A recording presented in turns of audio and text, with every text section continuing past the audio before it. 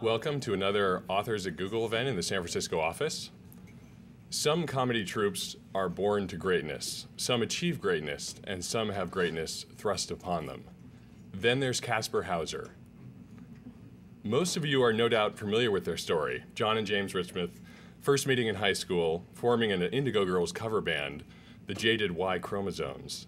Both going to Stanford where they met Dan Klein and Rob Baedeker and soon discovered that they all had a shared passion to, to invent an alternative to the loofah sponge, or as Rob later put it, to knock the self-satisfied lupa off its exalted perch. We know there has to be a better way.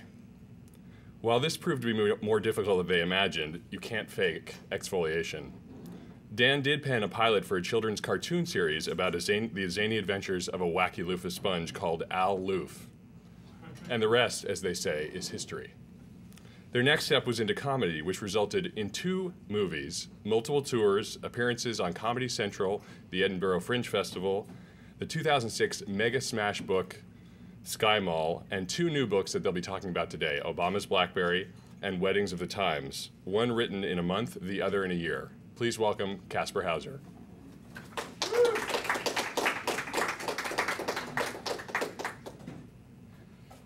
Thanks a lot. Uh, thanks for having us here today. Uh, we're Kasper Hauser, the cyber terrorist uh, comedy group, and uh, we're gonna thought we'd talk about our two books, Obama's BlackBerry and Weddings of the Times, but we figured it'd be a waste uh, while we're here not to do a little consulting. We're also uh, a boutique consulting firm, and with that, I'd like to turn it over to Merlin Manson of the site 43 red balloons, and we're going to look at some of the things that might help Google out.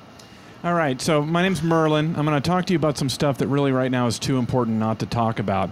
I'm also the creator of 39 Red Balloons. We did that in Germany as well, 39 Luft Balloons. Um, if, can those of you in the second and third balconies hear me okay? Okay, good. And all of you in the back left, also those of SATCOM LinkedIn from Google Fresno, and Google Tegucigalpa. Welcome, bienvenidos. Ladies and gentlemen, what if I told you that Google could be a top company? Yeah, that, that'd be awesome. No, Dan, uh, I'm, I'm asking them so. Google, what if I told you that Google could be a top company by taking a few important steps? What are, yeah, what are they? Dan, don't answer back. I'm asking them. It's a rhetorical question. Okay? We're going to go through some important steps right now that can take Google to the next level from being a small regional server uh, based body of computers into potentially a broadly based regional provider of Web 1.5 and 2.0 content. Okay? I'm talking about being part of the Forbes 5000 perhaps for the first time, at least the San Jose edition. I am talking about joining the Better Business Bureau, and I'm talking potentially about a mention in the Chronicle. Okay? Started. I think the lamp on the projector's Okay. Now, you're hearing my, my cell phone. Yeah, Dan, that sounds fine. Um, at any rate, there are some steps here, and I have some bad news first. Okay? One is that Google needs to increase its profile. Okay, everyone in San Francisco has heard of Google, but when you get to South San Francisco or Daly City, the numbers drop off drastically. Now, I also want to point something out, and this may come as a shocker. When we searched, when we Googled the term search engine, Google came up fourth. Okay, this is not a joke. When we Google the term search engine, Google came up fourth. Okay? Now, in the Olympics, who's the fastest person to not get a medal? Uh, Piper Street. No, uh, fourth place. Okay, fourth place is the best you can be without getting a medal. The question is, can Google get on the medal podium? And that's something Kasper Hauser is here to help you with today. Now, I'm not going to say that you guys are going to be dogpile overnight, because you won't. That takes time, months in their case. Okay? Alta Vista, same thing. Those guys put in the work. But Google, can you get to that bronze medal podium place? I think you can. Okay? And that's what we're going to talk about. One of the things is you need to raise your profile, and one way is to start blogging. You can blog about knitting. You can blog about going to a concert. Even if you don't get tickets, you just write about how you didn't go to the concert. Next, change your name. Google does not work as a name, and we have proven this with computers and social marketing re- research Research time. that we did, okay? Why? Because the name is a downer. Okay, say it with me. Google. Google. No, Google. Google. See, it goes down, Google. It's depressing. It's also easily mispronounced as Google in most cultures, which is an insult. What did we do? We ran it through Deep Blue, the chess computer, and we came up with a couple of algorithmical names that are 100% perfect and available. One of them, Snooples.biz. You see how Snooples is uplifting. Snooples.biz. Google. Snooples.biz. Snooples.com is taken, unfortunately. Another one that tested really positive in what we call the YA group, that's 18 to 17 year old, is thegivingtree.us. Because Google can give back, okay, instead of just taking, taking, taking. Okay, what's next? Next is Leave reviews for yourself on Amazon. It's hard to do it first, but you got to be self serving. Don't put in the review that you know Google, okay? And don't just do a straight five star. Four and a half has more credibility. Another way to build your profile go to Dane Cook's Friendster page and then ask all of his friends if they will be a friend of Google, okay? Finally, for this page, leave the technical stuff to us. Okay? One of the things that we've recently been talking about with some of the Google higher ups is perfect matchers using Gmach with C. Who here writes in C? Okay? How about Drupal? See? And that's where you guys need to be. What about PHP? Okay, any basic writers still? I think that you guys have stretched yourself away from what you guys are best at, which is more riding segways around and eating free food. so we want you to leave the tech stuff to us at least on the weekend. We're willing to be, build a firewall. We just talked to San Jose Fire Department about this. And the other thing is get a tweeter and start twatting. Okay. Another thing for you guys that's been really important is this, and this comes, you know, this company is only strong as strong as its weakest member, okay?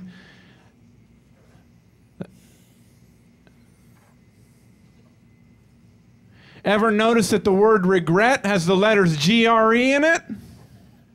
If you have not gotten a high school diploma, I would recommend you take the GRE as soon as possible. That can be the first step for you towards positively in yourself being that way. It's a backup plan. Uh huh. Next, stay positive. Okay, what are some features of this? One is you know, paint this place for starters. It's a dive, really. It's a dive. I mean, it's, I mean, it's like you get the ping pong table, but come on. Next is maybe balloons or a clown wouldn't hurt. You know, something to just not, you know. And last, make your bed every morning. This is something they learned in the POW camps, but it can apply to Google as well.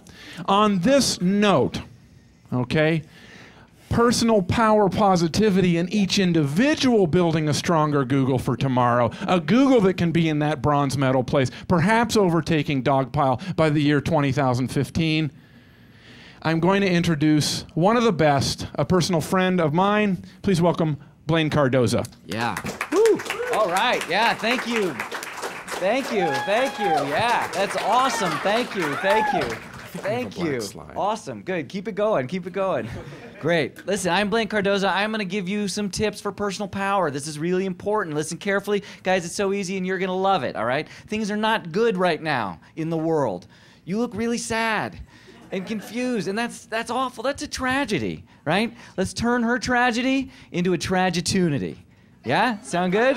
You all up for this? All right, I'm going to teach you. This is uh, this is important. This is Blaine Cardoza's and Kasper Hauser's three pillars to achieving world record power and happiness. Okay, you can do it. It's in you. But first, what's a pillar? A pillar is a support. That's an idea or belief that can change your life. All right. Pillar number one is strength. Now, what do I mean by strength? Do I mean moral strength? No.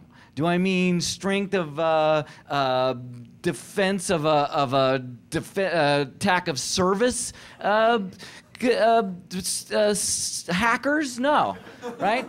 I am talking about punching out a police horse, okay? Raw physical strength. I know I want it, Blaine. How do I get it? You get it by learning the pillars and following the steps and smoking little PCP. That is the Blaine Cardoza system. Okay, so folks, pillar number two is tolerance, okay? It doesn't matter if someone is black or white, gay or straight, right? They are going to try to get you. And when they do, you need tolerance, okay, to pain, pain tolerance, right? This is my favorite part of the system, folks. friend of mine who'd been using my system for only six hours literally flew off of a balcony onto a tractor. And do you know what he said to me? Thank you. right? It's, uh, okay, another story. Um, this is from my own life. I had been using my system, and uh, uh, using it, I actually uh, pulled this ring out of a French fry cooker.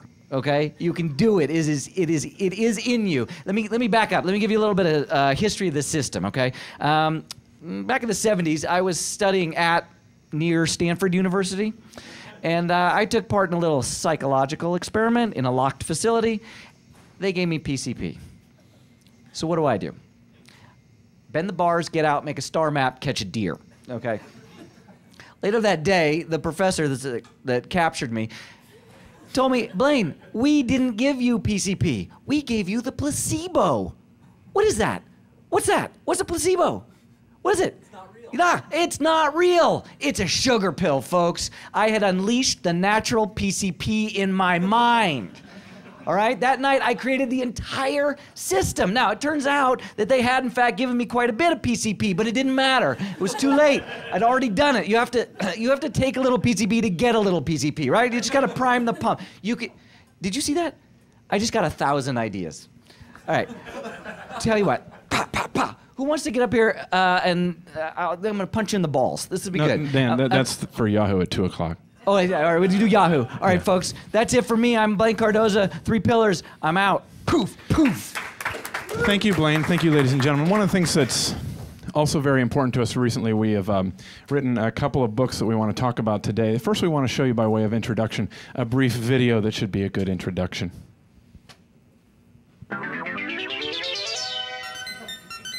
Weddings are a wonderful, happy time for any couple. In this video, you'll learn how to respond to basic wedding emergencies so that your wedding can be a safe, fun, and happy time for all. When you hear this beep, take time to review with your instructor.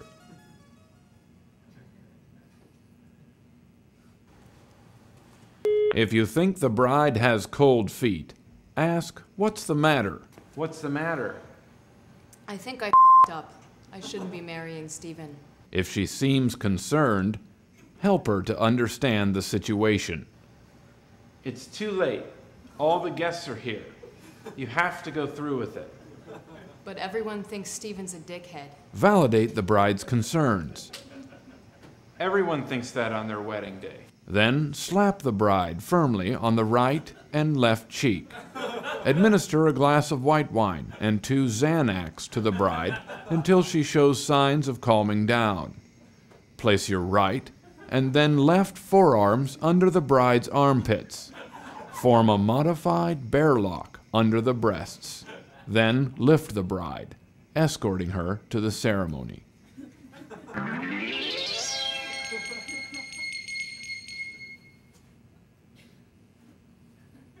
If a guest has eaten too much cake, first ask, Did you eat too much cake? Did you eat too much cake? If he says yes, he has eaten too much cake.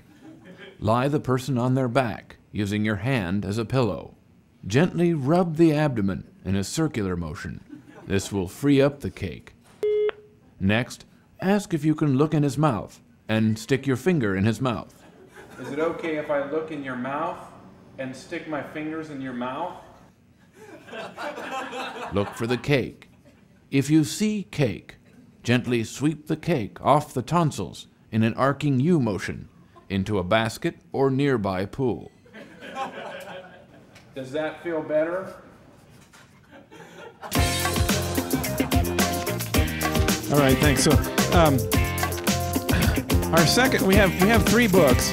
Um, Our first one was Sky Mall. Uh, which was a parody of the Sky Mall, the in-flight catalog, and that came out in October 31st of, of 2006. And then we we wrote a second book for St. Martin's Press, which was Weddings of the Times, a parody of the New York Times wedding announcements. Then by sheer coincidence, we ended up having another book come out uh, essentially on the same day. Weddings of the Times, and we're gonna we're gonna go read read a couple of these selections. And this purple just goes out like that. That's the first one. So these purple things don't come with the book. Yeah, the purple is us. You don't get the purple. Go ahead. Carolyn Hanson was married to Dean Van Wyck on Saturday at the Peachtree Farm in Scarsdale, New York. The bride, 33, wore a strapless white Vera Wang wedding gown. The bridegroom, 38, wore tight fitting purple breeches, a white silk shirt, a fox fur mantle, and a livery collar from which was suspended a diamond the size of a walnut. His wide sleeved doublet gave emphasis to his upper body, which was accentuated with shoulder pads. Mr. Van Wyck's padded codpiece was stuffed with jewels and weapons. He carried a staff made of silver and bedecked with topaz. There was obviously some kind of miscommunication, said the bride.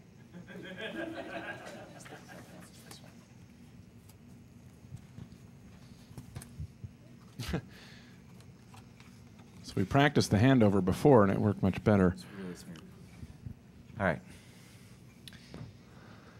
Frank Alswang and Scott per- Perino were joined in civil union at the Union Civil War battlefield at Gettysburg, Pennsylvania on Thursday. Mr. Perino and Mr. Alswang are, confeder- are co founders of Confederates in the Closet, a living history organization that, through its weekend reenactments, slideshows, and private parties, imagines what it would have been like to be gay and fighting for states' rights in the 1860s.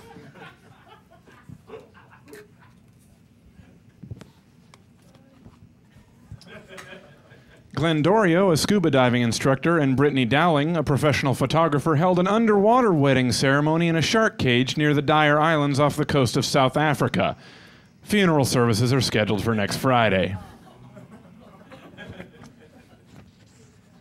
Guess they don't like scuba diving. Marta Green and Nate Serrata were married on Friday at the Sun Horizons Convention Center in Sarasota, Florida. Rabbi Tom Goldwitz officiated. The couple met in the online virtual world known as Second Life. Mr. Serrata's screen character, or avatar, is a four legged centaur with a rippling human torso and the arms and head of James Bond actor Daniel Craig. The instant I saw him, I fell in love, said the bride. I'm a huge D&D girl, plus I love Daniel Craig. You should see her avatar, said the groom. It's a dolphin with a human tongue. Plus, she's got wings and she's a surgeon. Asked how they planned to spend their honeymoon, the couple replied, Cyberlingus and Pixelatio.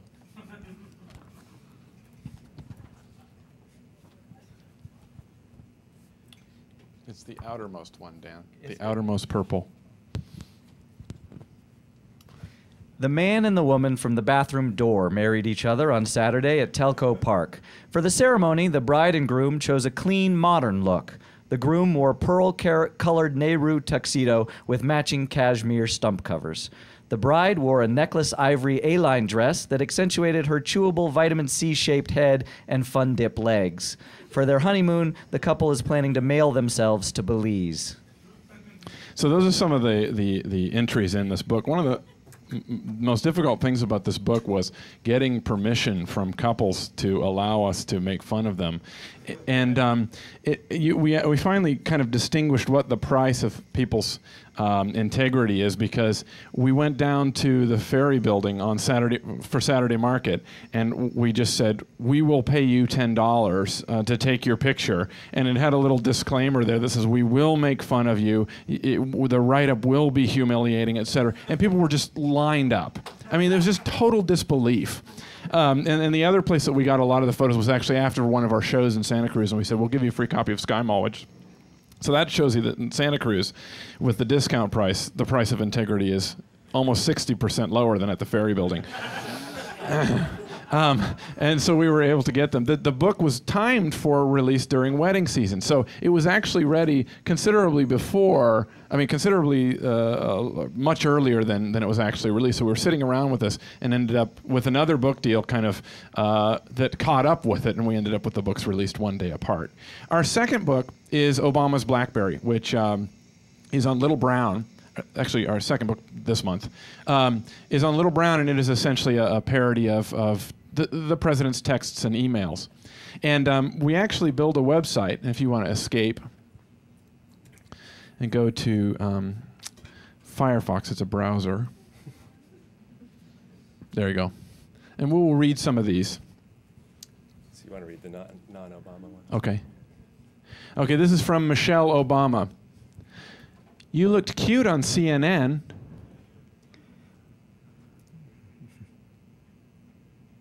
Really?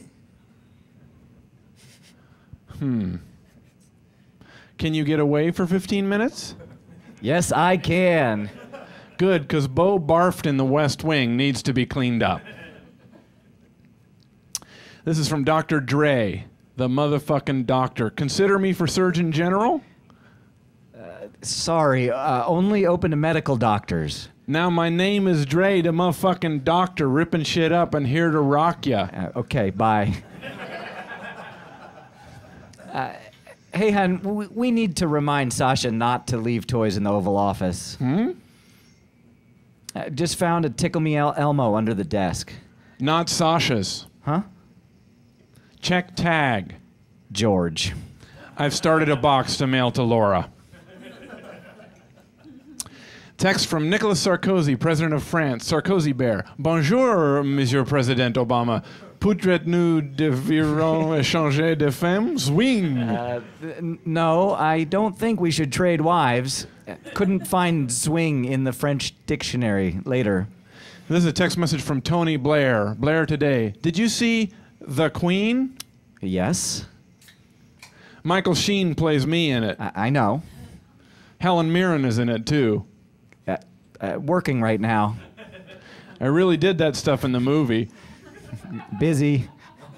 Okay. Did you see Chariots of Fire? Okay, here's a, a, a, a- an email from service at paypal.com to Barack Obama. Subject receipt for your payment, for your PayPal payment to AIG Incorporated. You have sent 170 billion to AIG Inc. for a bailout. Payer name Barack Obama. Funding source grandchildren's credit card. A text message from Congressman Dennis Kucinich. Dennis the Menace. Hey, Prez, kudos on new White House veg garden. Thanks. Okay if I plant some stuff, heirloom tomatoes. Uh, let me check with Michelle. Also, rainbow chard, oregano, bergamot, some echinacea, smearwort, It's a pretty small plot. BC greenbud, pineapple skunk, white widow, purple kush, Mexican sticky stank, Turning off phone now. mushrooms. Okay, this is a text from Hillary Clinton, Secretary of State. Why didn't I get vice pres? Joe's funner to be around. In what way? Christopher Walken impersonations, can rock the cradle on a yo-yo, plays banjo, knows trivia, makes good chili, does a few magic tricks, doesn't run against me in the primary. Okay, I get it. Uh, okay, this is from the YouTube service to the president at us.gov. Subject Dick Cheney sent you a video. Baby panda bear sneezing. Hey, W. This is 10 times cuter than the one you sent me. You have to watch to the end. He starts to sneeze, then falls asleep. Then, oh my God, he wakes up by sneezing. Oh my God, oh my God, oh my God. Don't you just want to hug every baby panda you see? Dick. From Dick Cheney to the president at us.gov. Subject, please delete my last email. Baby panda sneezing. Dear President Obama, I mistakenly sent a video to what is now your address. I will shoot a baby panda if you mention this to anyone. Seriously, Dick Cheney. Okay, so those are some. Actually, some of those are in the book, and some of those are are um, entries that didn't make it into the book. We had a very um, surprising turn of events when this book, uh, in sort of pre-publicity, about the week before this book came out. Oh, so so FoxNews.com ran a, a funny story about uh, Obama's BlackBerry about how the cyber terrorist group Kasper Hauser had hacked into the president's BlackBerry, and uh, Little Brown, our publisher, was threatening to publish the messages uh, on June 8th, and and the third paragraph, Fox News said, unless it's all a joke, the Iranians didn't read to the third paragraph. Uh, the Press TV, their, their state run media organization, ran a story saying that a virtual terrorist group named Kasper Hauser had hacked into the president's BlackBerry and was going to publish through Little Brown his correspondence. Uh, this was a serious breach. Uh, this group, Kasper Hauser, had somehow hacked in there. Um, no, no tip-off really to the uh, to the joke part. Um, the otherwise written in perfect English, but this story uh, ran uh, right around the time the book came out and was picked up by a number of other uh, websites and news organizations, and we never heard back from the Iranians. But as far as they know, uh, we've we've spilled the contents of. Yeah, including Huff, HuffPo picked it up, the, the, the story that Iranian state press labels sketch comedy troupe cyber terrorists. And we learned so much basically from the comments to all of these things because there would be these completely inane comment wars at the bottom of these pages, and nobody seemed to ever, no matter who they were, like all the HuffPo ones were Fox News sucks. That's all people said. There was no comment really on the substance of the actual thing. And then people would talk about whether, oh, it's just a stunt or it was just, et cetera. And we had actually nothing to do with it. It just happened completely in our, you know, uh, absence of, of action. Um, but it was, a, um, uh, it was only one of two kind of international responses to the book that we had. Another was that a Wall Street Journal article, just a standard book write up, was done about a week, week before it came out. And the author of the Wall Street Journal uh, article, because on the cover of the book you see that um, Biden, Joe Biden, is asking at the end of the email if he can leave at 4:45. And um, she contacted Biden's uh, uh, uh, basically uh, spokesman, and and the spokesman came back with a, a long and detailed quote about um, the nature of parody and that and how parody must needs be based on like something about the actual person, some actual so we were being lectured by, le- lectured by Biden's office on, on proper parity. So we, we, we were thrilled that they took the time to respond in great detail about how busy he was and all the trips he'd gone on, and he was working on the bailout, and he'd just gotten back from an overseas trip. So we thought that was nice. They took a, a lot of time to explain that, that he was busy. We were, we were flattered. Yeah. yeah. And um, one of the things that we had already explained to the author, and one of the things that we tried to do in this book, is to not let the book write itself. We had even told that to the to the author that Biden long-winded jokes are not going to be funny to anybody, and that only by kind of wandering off into a new character for Biden, and that there's some sort of resonance to the to, to the notion of Biden being an employee now and leaving at 4:45, even though nobody actually thinks that Biden is like that. Um, but that was all fortunately left out of the article. Um, do you guys have any questions for us? We have another um, um, sort of uh, um, germane little um, piece for you guys that we want to do after, but we want to do that after a little bit of Q and A. So if you guys have any questions or comments for us, yes.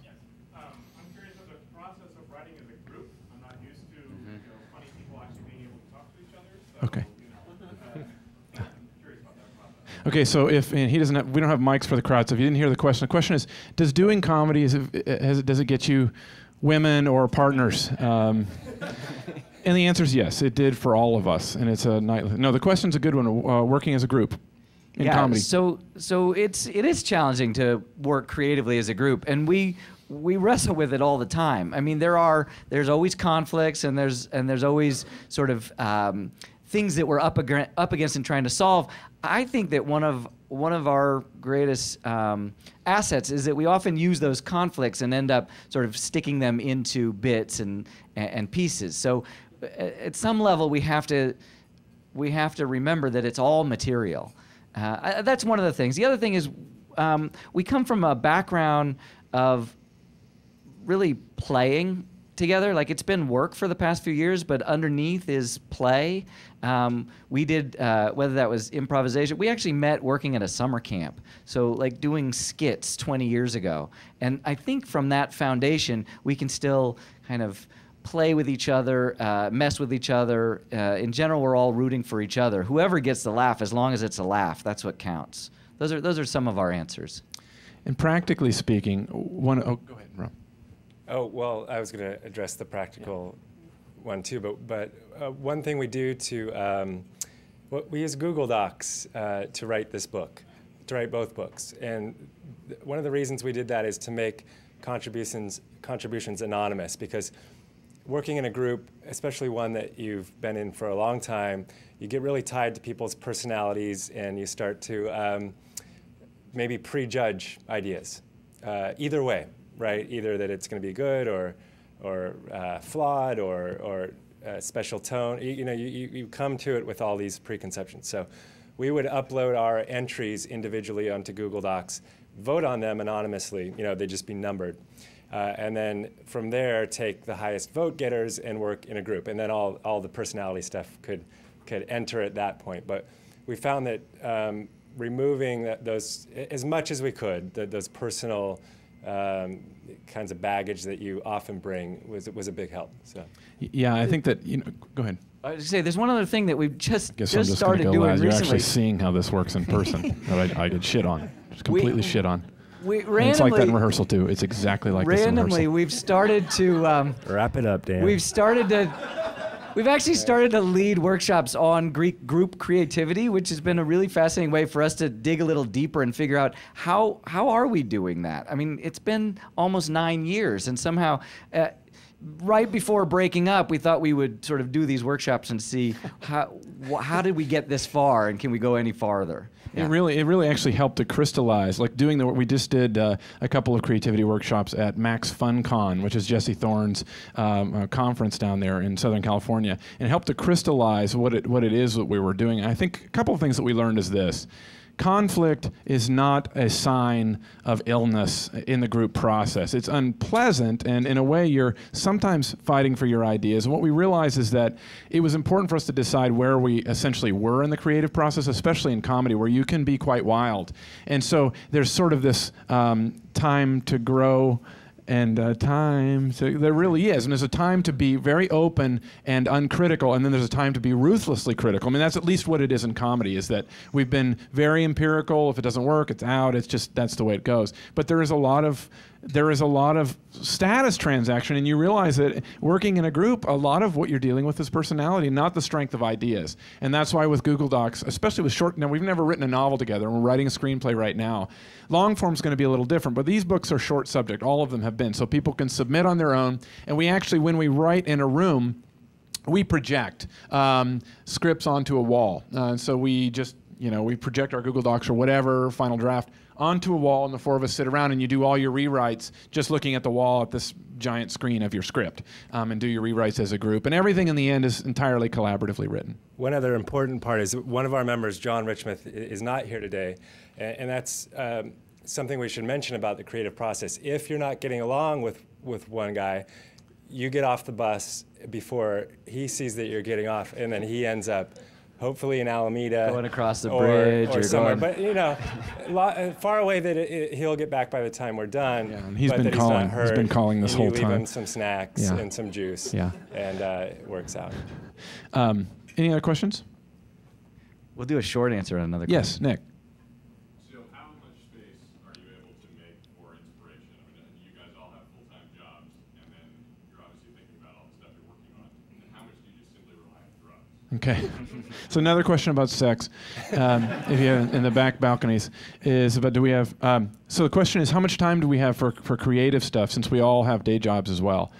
Um, well, some of our day jobs dovetail very, very nicely with writing comedy. I mean, Rob is a, a, a freelance writer. Dan teaches improv at Stanford and, and uh, sketch comedy at Stanford. So those things are very highly complementary. John and I have day jobs that are not necessarily entirely complementary. I'm a psychiatrist, and my brother's an attorney. Um, but the job structure is um, is sort of open to it. We we're not nine to five. I wonder if my employers are going to watch this. Yeah, we, so we are nine to five. Um, no, so so our job our, our job structures have been sort of tailored, but but the answer is it's a lot of work. You end up essentially having two jobs because it's, it's much more than a hobby. Um, it doesn't entirely pay the bills yet, but um, you know it's not just been like our little fun weekend thing either. Um, the creative process part starts to get swallowed up as you get more notoriety or more success, and you end up spending a lot of time on uh, answering emails and making sure people's calendars are cle- clear. And you have to push back, and we're just realizing that now too. Like it, it's so much fun when you start a rehearsal with improv and you're just going straight to the creative and say, forget talking about whether we're going to take this deal or whatever, because that stuff is just not what you went into it for. What what deal is that? with um, Hush Puppies. okay. Uh, Hush Puppies wants us to do. I don't want that to get in the way of Um, our improv. Uh, any other questions? Somebody way back in the second balcony up there. Uh, I can't. I can't How hear did them. you? I really love your guys' stuff. How did you guys get so brilliant? um, yes. Who were some of your comedy influences? Who were, who were you inspired by and drawn? Uh, I'll, I'll, I'll start with a few. Um, we're uh, big British comedy fans. We did the Edinburgh Fringe Festival a few years back and um, met a lot of great comics there that we're still fans of. And, and um, uh, Count Arthur Strong, uh, a guy named Steve Delaney, is a, one of our comedy heroes. Uh, you should look him up. Um, he's a brilliant character comic. We were always big fans fans of um, Chris Morris, uh, Brass Eye, uh, again stuff that didn't get a ton of play over here, but really brilliant um, news parody, and he's done a ton of stuff. Um, I'll pass it on to James. Peter Cook and Peter Sellers, both the Peters. Um, and and I, I I'm like it runs the gamut too. Like I, I, I'm at one end of the comedy nerd spectrum, very much a comedy nerd. Um, John thinks that SNL is the worst thing that ever happened to American comedy and doesn't claim to recognize any members of Monty Python. That's my twin brother. So it's it just kind of runs the gamut. Cheech and Chong very big for us too. Cheech and Chong for sure. I mean, I have to admit, I, when I was a kid, it was Steve Martin. It was you know, pretty like all the all the big stuff. Um, yeah. Also, writers like you know, like Jack Handey, um, Donald Barthelme, um, uh, George Saunders. George Saunders, uh, Beckett. You know, s- um, sort of. Uh, Mark Lazenby, Doreen Jones, Fred Lewis. Um, lots of great writers. Any questions? Yes. I've heard your now classic NPR um, This American Life uh, takeover, and that was absolutely hilarious. But when you actually went on This American Life, it was another one. What was it? Was it just uh, takeovers? It was a version of a phone call to the 14th century. Yeah. So the question is, uh, we did the parodies, and then when we actually went on uh, uh, This American Life, we, we ended up doing a straight sketch. Um, well, we just, just you know, we, we had pitched that sketch to them um, years ago, actually. It was an old sketch of ours. It's a phone call to the 14th century, a game show where you're calling the 14th century to impart as much useful knowledge as you can. Um, and years ago, we pitched it, and uh, they kind of said they liked it, and we never heard. And then in the meantime, we did the parody. Um, we were told they, they'd all heard it. Um, not, not sure, you know, it was an homage as much as a parody. We're, we're big fans, and um, but we, we never directly pitched the parody to them.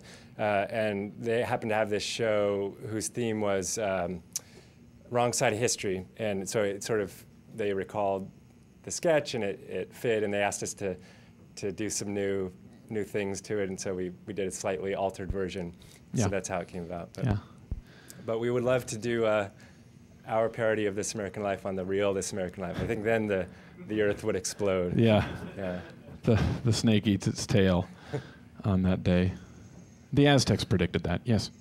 Um, how does your political stance, um, how did it influence this book? Because I was kind of noticing that you were very pro-Obama, it seemed like. So are you guys all liberal, or is there like a mix, and how does that affect Uh, I would say that we are all liberal and that these guys are getting more and more conservative as they get older. We haven't really talked about this, but they're like, they're they're getting kind of weird. No, I, I it, this is that was a that's a really good question. The question is how what is our political stance and how did that affect uh, writing the book? Is that uh, accurate?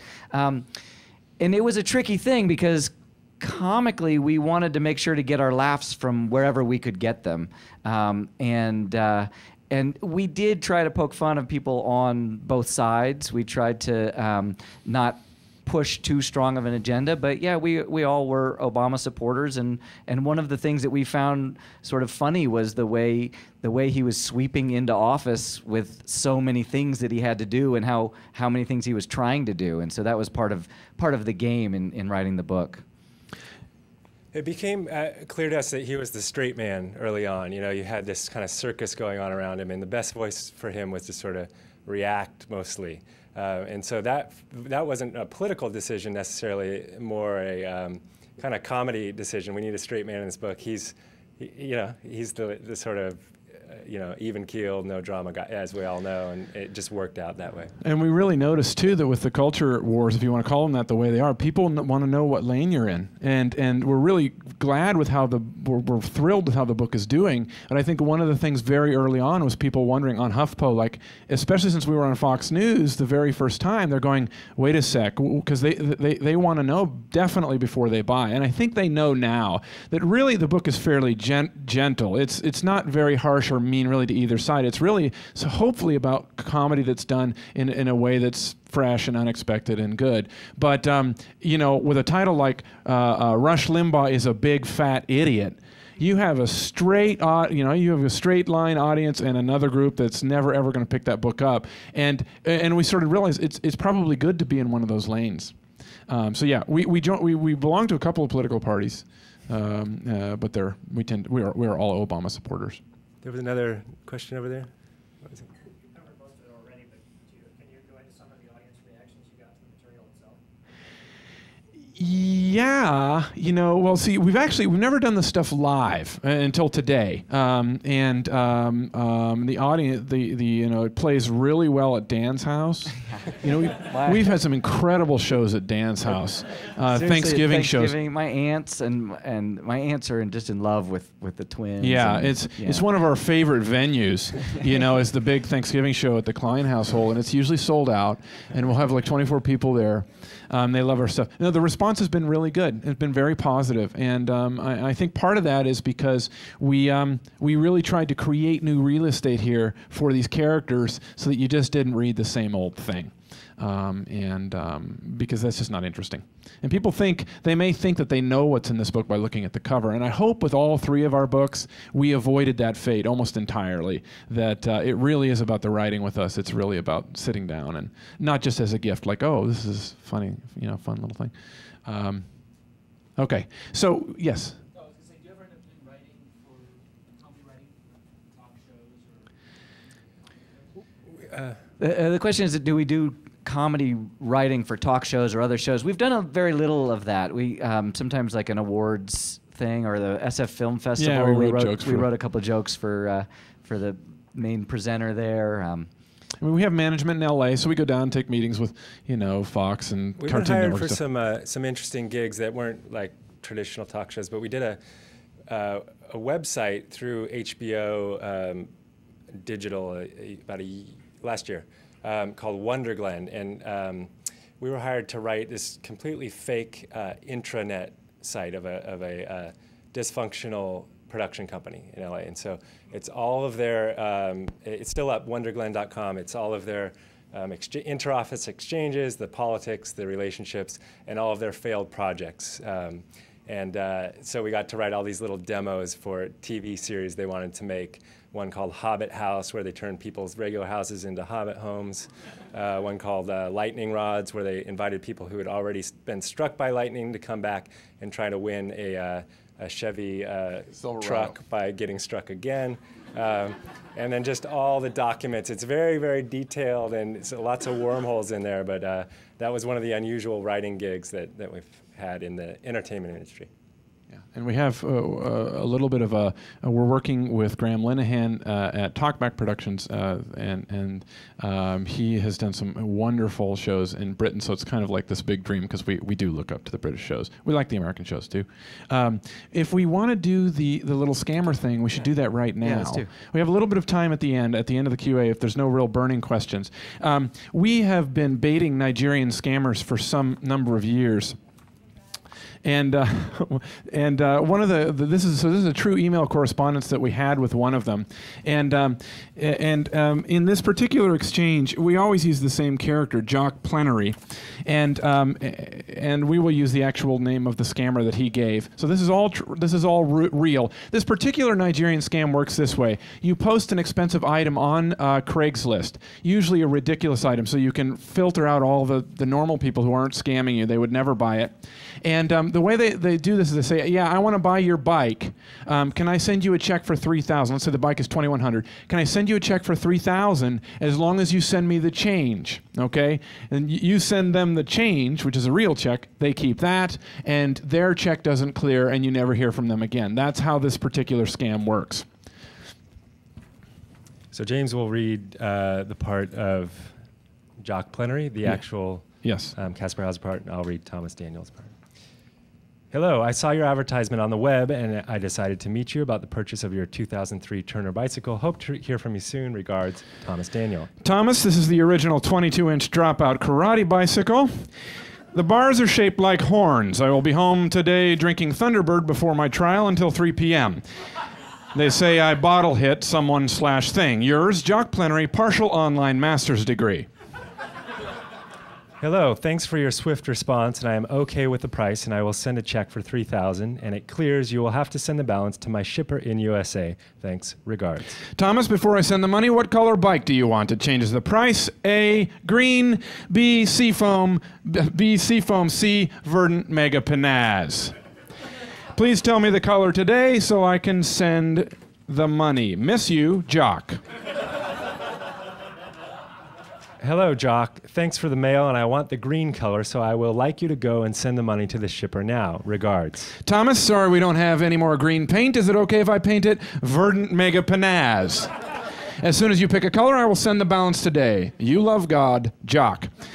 Now, at this point, we sent him $2 via Western Union to London. It costs $18 to send money on Western Union. So the woman was looking at me saying, You're going to spend nine times as much to spend it. At any rate, when you send money via Western Union, you get what is called an MTCN control number.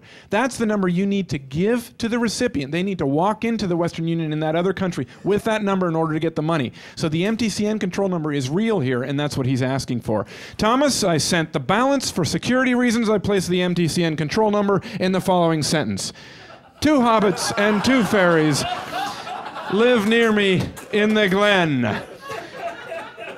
The 10 numbers in the sentence in order are the control number. I can't wait for this to be settled. In my mental mind, you have sat on my lap like a little silky terrier, Thomas. You are like a little crystal hobbit fairy in my barn. I love you, Jock. The total cost for Verdant Mega Panaz is $29.98. Hello, Jock. Are you kidding me or what? My shipper went to the bank to take the money for the pickup of the bike, and they get to know that you send only $2? What is going on? Thomas, I told you the total cost was $29.98 for the Verdant Mega Panaz color. Your business partner sent me 3000 That means the balance is $2. Conclusion you are being a hippie. Repeat, you're being a hippie, and now you'll have to pay. I'm sorry. I trust you. You and God and I are a threesome. Jock Plenary, half marathoner.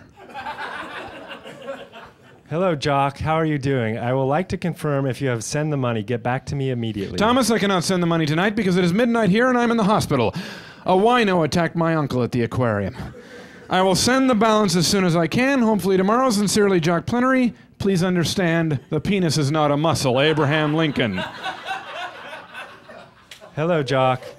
Thanks for the message, and I am very sorry for the condition of your uncle, and I think he will get better by God grace. And I would like to tell you to go as soon as possible to send the money. Regards. Dear Thomas, thank you for bequeathing a special blessing all up into my uncle. He is very injured, and the doctors say he's still too horny to operate. Why did I even go to the aquarium? I've sent a photo of Uncle Gabriel and his doctor, who has asked me to go horseback riding. That's a picture of them, by the way, at Stanford operating on Coco the gorilla. I will send the balance if I can get out of the hospital today. Help me, Obi Wan. Jock Plenary. Hello, Jock. How are you doing? Hope things are all right. I am here waiting for your urgent response, and I would like to confirm if you have sent the money. Thanks. Regards. Thomas, I'm still at the hospital. Bad news. My uncle's condition has been downgraded from very fine to F minus. Should I send my grandma's boyfriend, Pampa, to send the money? You're my best friend, Jock. Hello, Jock. How are you doing? Well, your uncle will be all right. I am here praying for his health, and I would like you to send your grandma's boyfriend to send the money as soon as possible. Regards. Thomas, thanks for the kind words about Uncle Gabriel. He's just starting to say fuck, so that's good. I'm so mad at aquariums and winos. Trust me, the money will arrive soon. I can't wait to be in your arms again. Jock Plenary. I am here waiting for your urgent response and the MTCN control number. Thomas, Pampa sent the money. I will hide the MTCN control number in the following sentence R2D2 and C3PO went to Moby Dick's for a rave and got stoned and laid. Jock, please do not encode the control number because I don't understand. The control number you sent was 13 numbers and it have to be 10 numbers. Thomas. R2D2 and C3PO are robot names, not part of the code. Repeat, they are robots of Star Wars. Do not use the numbers from any names of robots in the code. Repeat, bang the drum slowly. Jock Plenary. P.S. Uncle Gabriel is feeling better. He got a tube salad through the nose. Thank you very much, ladies and gentlemen. We're Kasper Hauser.